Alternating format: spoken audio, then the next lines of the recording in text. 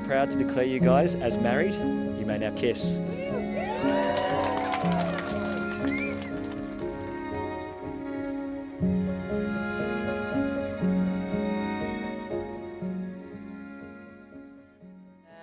So